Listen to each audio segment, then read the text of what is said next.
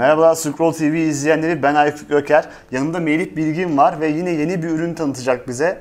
Ee, bu defa tanıtacağın ürün sanırım bir fotoğraf makinesi. Evet, dijital fotoğraf makinesi. DSLR dediğimiz dijital, single lens reflex Evet. e, türünde bir makine. E, Nikon'un D5100 modeli. Nispeten yeni bir model diyebiliriz. Türkiye'de de yakın zamanda satışa çıktı.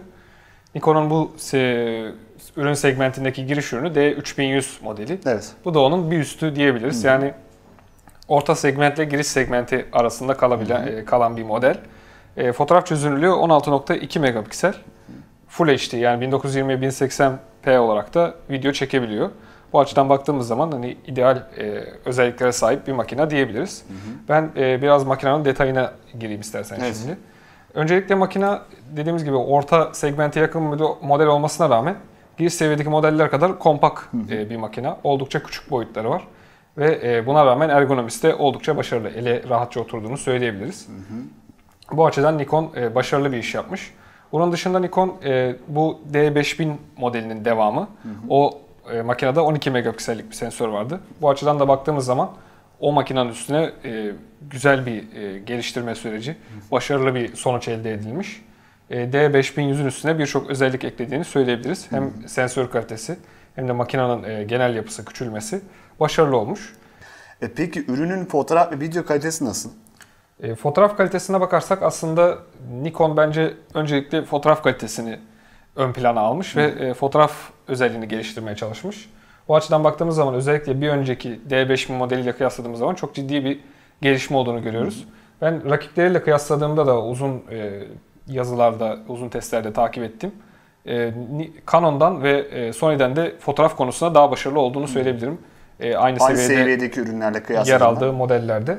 Ancak video konusunda tabii ki e, ürün e, 1920-1080 Full HD video çekiyor. Ancak video özelliklerine baktığımız zaman ben Canon'un biraz daha önde olduğunu düşünüyorum. E, Canon özellikle sunduğu zoom e, özelliği, video esna, çekim esnası zoom özelliği gibi özelliklerle daha ön plana çıkıyor.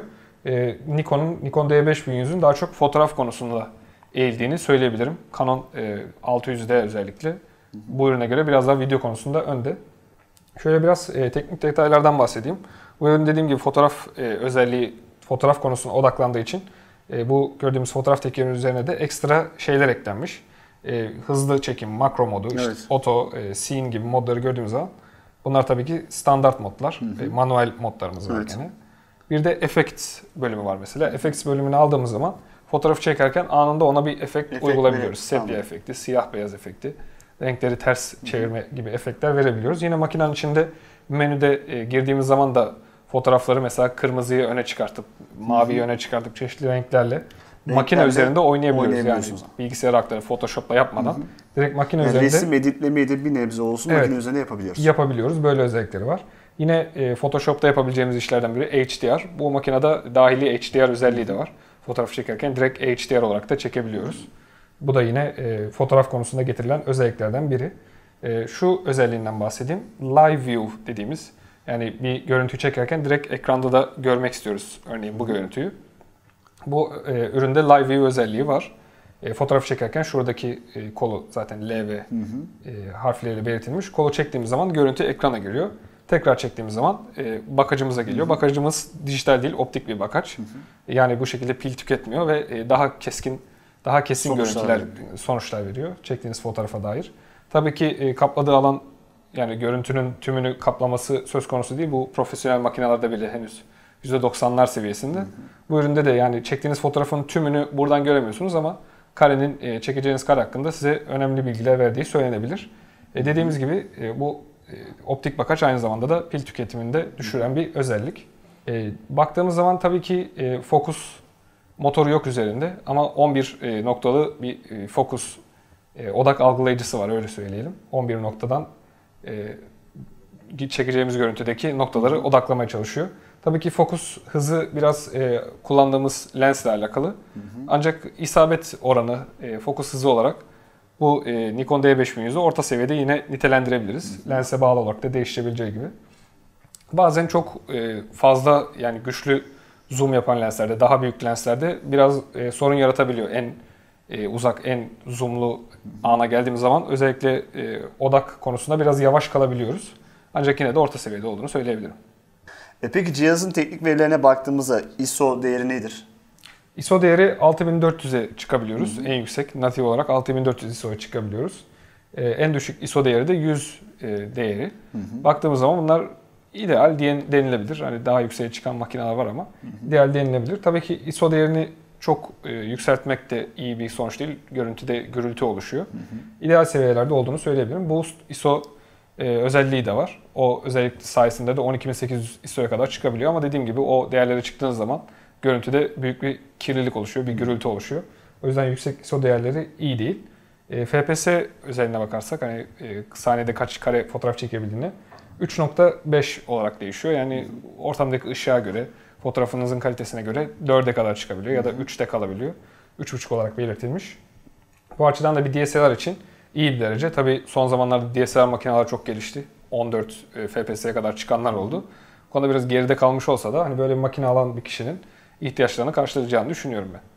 E, son zamanlarda özellikle bu seviye makinelerde görmeye başladığımız özelliklerden biri Evet. hareketli ekran. Hem bu şekilde açılıp kapanabiliyor. Bu şekilde kapattığımız zaman ekran korunuyor çizilmelere karşı. Çok Açık. kullanışlı olmuş gibi gözüküyor. Öyle çevirip de Harika, yapabiliriz. Aynı zamanda böyle karşıda bir çekim yapabiliyorsak kullanabiliriz. Şöyle yapıp yaptığımız zaman da mesela üst tarafta makineyi tutup nereye çektiğimize bakarak gene e, kullanabiliyoruz Gayet makineyi. kullanışlı gözüküyor ekranı. Evet bu genelde profesyonel seviye ürünlerde böyle ekranlara yer vermiyorlar. Sanıyorum profesyoneller bunu çok fazla tercih etmiyor. Ama bu tarz ürünlerde görmeye başladık. Canon'da 600D modelinde yine hareketli bir ekran kullandı. Bu e, ekran cihazın e, dikkat çeken özelliklerinden biri diyebilirim. Şöyle yan tarafına gelelim istersen. Şuradaki girişleri göstermek istiyorum sana. Gördüğün gibi bir HDMI çıkışı Evet. var. Yine e, son zamanlarda standart olmaya başlayan özelliklerden biri. Mikrofon girişi var ama tabii ki yani beklendiği gibi bu profesyonel mikrofon girişi değil. Normal e, 3.5 mm'lik mikrofon girişi. E, görebileceğin gibi bir harici e, GPS bağlantı noktası var. E, onun yanında da A ve e, bir monitör ekran çıkışı daha var. HDMI çıkışına e, hariç olarak. Alt kısmına geçelim.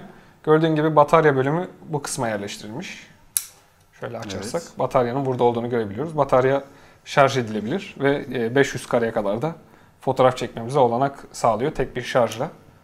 Pil kullanamıyoruz sanırım bu cihazda. Evet harici e, yani değiştirilebilir alkali pillerden kullanamıyoruz.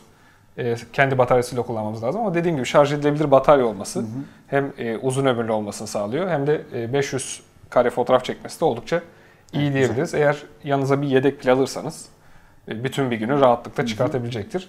SD kart girişi ise yan tarafa yerleştirilmiş. Bu üründe tek bir SD kart girişi bulunuyor. Bu seviyede normal diyebiliriz.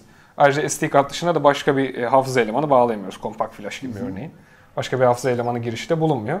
SD kart girişinin yan tarafında konumlandırılması avantaj. Bazı makinelerde alt Altta. kısımda oluyordu. Alt kısımda tripoda bağladığımız zaman o kapağı Almak açamamamız anlamına geliyor. Yan tarafta olması yine bir avantaj. Ergonomisinden bahsetmiştim. Ergonomi oldukça başarılı. Kullanımını da ben başarılı buldum ama tabii ki kullanım biraz alışkanlık meselesi. Eğer e, Canon kullandıysanız daha önceden bunun kontrolleri size çok karışık gelecektir. O açıdan biraz e, hani bu işler biraz ısınma meselesi Evet. diyebiliriz. Nikon'un e, bu konuda farklı bir tarzı var Canon'a göre ama ben yine de kontrollerini başarılı bulduğunu söyleyebilirim. E, üzerindeki lensten bahsedeyim biraz da istersen. E, bu tür kameralarda gördüğümüz eksiklik, e, eksiklik diyebiliriz. Gerçi bütün e, segmente baktığımız zaman bu özellik mevcut ama bir eksiklik olarak bahsedebiliriz. Dahili fokus motoru bulunmuyor üzerinde. Bu yüzden dahili fokus motoru olan lensleri tercih etmemiz gerekiyor eğer bir lens alacaksak. Elbette e, manuel lens, e, manuel fokus seçeneğinde kullanabiliriz ama her seferinde manuel e, fokus yapmakta hani çok da istemeyeceğimiz bir seçenek. Meşakkatli bir seçenek. O yüzden e, bu e, makineye lens alırken o üzerinde fokus motoru olan lensleri tercih etmemiz gerekiyor. Bu da ne demek? E, alacağımız lensler her zaman diğer e, makinalara, üzerinde dahili fokus motoru olan makinalara göre daha pahalı olacak. Lense her zaman daha fazla para ödeyeceğiz anlamına geliyor ve tabii ki eski, e, daha önceden çıkmış eski lensleri de kullanamayacağımız anlamına geliyor.